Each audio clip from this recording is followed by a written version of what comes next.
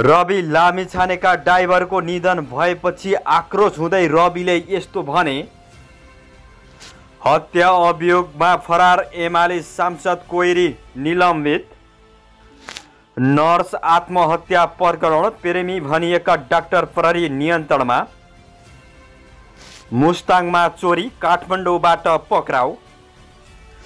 रूपन्देही जिल्लासँग जोडिएको नेपाल भारत सीमा दुई दिनको लागि बन्द कारण यस्तो छ। कम्बोडिया पठाइदिने भन्दै सात लाख ठगी गर्ने व्यक्ति पक्राउ। राष्ट्रपतिद्वारा नेपाली क्रिकेटर टोलीलाई बधाई। र मेक्सी स्टाइलमा खेलाडीहरूको ट्रफी फोज। आजको यो भिडियोमा यो सब अपडेटली हजुरमाझ उपस्थित भइसकेको छु। यो सब जानकारी पाउनको लागि भिडियोलाई सुरुदेखि अन्तिमसम्म फलो गर्नुहोला। केही सुझाव सल्लाह छ भने तल कमेन्ट गर्नुहोला। भिडियोलाई सक्दो सेयर गरी सबै नेपालीसम्म पुर्याउन मद्दत पनि गर्नुहोला। हजुरको एउटा सेयरले गर्दाखेरि धेरै नेपालीलाई केही न केही जानकारी मिल्नेछ। मैले आफूले जानेका बुझेका कुराहरू हजुरहरूलाई बताउने गर्दछु। नयाँ आउनुभएको छ अझै पनि हाम्रो च्यानलसँग जोडिनु भएको छैन भने सब्सक्राइब र साथमा रहेको घन्टीलाई दबाई हामीसँग जोडिनुहोला। अब ढिला नगरिकन लागौँ आजको विषय वस्तुतिर दर्शकबिन शनिबार अपरान्न मृतक अवस्थामा भेटिएकी युवती अनुमा श्रेष्ठका प्रेमी भनिएका सुजन ढकललाई प्रहरीले पक्राउ गरेको छ। विवाह गर्न अस्वीकार गरी आत्महत्या गर्न बाध्य बनाएको भन्दै अनुमाको परिवारले पेर्मी ढकाल तथा उनका बुवा विरुद्ध प्रहरी विरुद्ध बालाजुमा आत्महत्या दुर्साहनमा जाहेरी दिएका थिए। अदालतले दुईजना विरुद्ध मङ्गलबार पक्राउ पुँजी जारी गरेको थियो। प्रहरी विरुद्ध बालाजुका डिएसपी मनोजित कुँवरले सुजनका बुवालाई पनि पक्राउ गरी आवश्यक अनुसन्धान थालिएको बताए। लामो समय प्रेम सम्बन्धमा रहे पनि विवाह गर्न अस्वीकार गरेको भन्दै वीर अस्पतालमा कार्यरत चौतिस वर्षीय अनुमाले शनिबार प्रेमी सिज सुजनको बोहरा स्टिल स्टिल घरमा पुगेर आत्महत्या गरेकी थिइन्। मृतककी काकी सिर्जना श्रेष्ठका अनुसार अनुमाले विवाहका लागि पटक पटक आग्रह गर्दा पनि प्रेमी सुजन र उनका बुवाले विवाहका लागि अस्वीकार गरेका थिए। पेसाले अनुपा स्टाफ नर्स हुन् भने सुजन डाक्टर हुन्। अनु अनुपा वीर अस्पतालमा काम गर्थिन् भने सुजन कान्ति बाल अस्पतालमा काम गर्थे। सिर्जन सिर्जनाका अनुसार अनुमा अनुमाको सोह्र खुट्टेमा कोठा थियो भने सुजनको घर बालाजु बोरोटारमा रहेको थियो। अनुमा बेला बेलामा सुजनकै घरमा समेत गएर बस्ने गरेकी थिइन्। अनुमाले आत्महत्या गरेकै स्थानबाट एउटा डायरी बरामद भएको प्रहरीले जनाएको छ। बरामद भएको डायरीमा अनुमाले आफ्नो जीवन भोगाई प्रेम सम्बन्ध विवाहका लागि भएको प्रयास र केटा पक्षको परिवारले गरेको अस्वीकार लगायतको विषयमा उल्लेख गरेकी थिइन्। अनुमाको सबसँगै भेटिएको सुसाइड डायरीमा आफूले दुई पटकसम्म गर्भपतन गराएको प्रेमिका बुवाले विवाह गर्न नदिएको लगायतका कुरा समेत समावेश गरिएको छ। सोही कुरा र आरोपीलाई प्रमाणका रूपमा लिएर प्रेमी ढकाल र बुवा विरुद्ध आत्महत्या दुर्साहनको जारी दिएको थियो। त्यस्तै दर्शकबिन राष्ट्रिय स्वतन्त्र पार्टीका सभापति रवि लामी छानेका चालक दिलबहादुर थापा शम्भुको बुधबार अन्त्येष्टि गरिने भएको छ।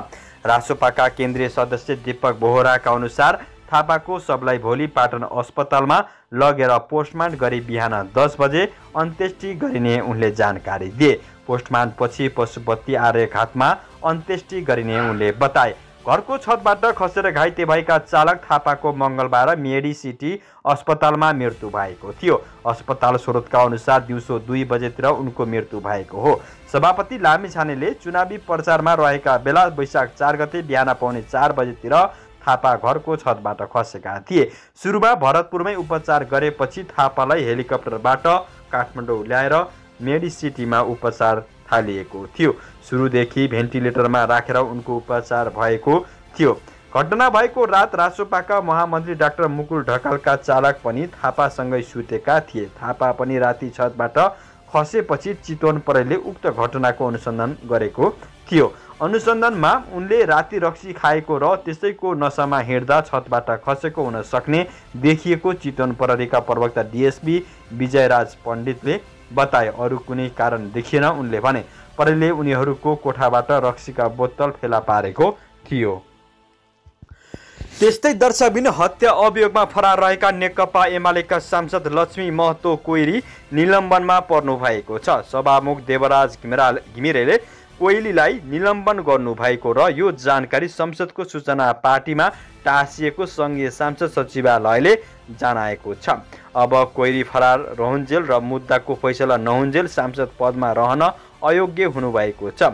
यसअघि कोइरीलाई पक्राउ गर्नका लागि सहयोग माग्दै प्रहरी प्रधान कार्यालयले सभामुख देवराज घिमिरेलाई पत्र पठाएको थियो। मधेस आन्दोलनका बेला दो हजार बहत्तर भदौ पच्चिस गते आन्दोलनकारीहरूको कुटाइबाट गम्भीर घाइते भएका सशस्त्र प्रहरीका सहायक निरीक्षक थमन विकलाई उपचारका लागि जनकपुर लैजाने क्रममा एम्बुलेन्सबाट थुतेर हत्या गरिएको थियो। विगतको हत्यामा कोइरीको संलग्नताबारे उच्च अदालत जनकपुरले थुनामा राखेर अनुसन्धान गर्न आदेश दिएको थियो। फरार रहेकै अवस्थामा कोइरी नेकपा एमालेको तर्फबाट मोहत्तरीबाट प्रतिनिधि सभा सदस्यमा निर्वाचित हुनुभएको थियो।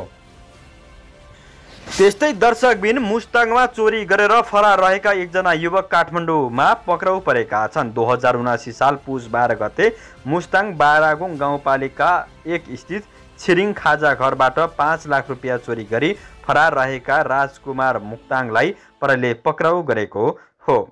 मु मुक्तानलाई पक्राउ गर्न जिल्ला प्रहरी कार्यालय मुस्ताङबाट पत्रचार गरेको आधारमा काठमाडौँ उपत्यका अपराध अनुसन्धान कार्यालयबाट खटिएको टोलीले गत वैशाख सत्र गते भक्तपुरको सूर्यविनायक नगरपालिका पाँच जगातीबाट पक्राउ गरेको थियो। उनलाई आवश्यक कारवाहीको लागि जिल्ला प्रहरी कार्यालय मुस्ताङ पठाइएको छ। त्यस्तै दर्शकबिन वैदेशिक रोजगारीका लागि कोम्बोडिया पठाइदिने भन्दै ठगी गरेको आरोपमा प्रहरीले एकजनालाई पक्राउ गरेको छ।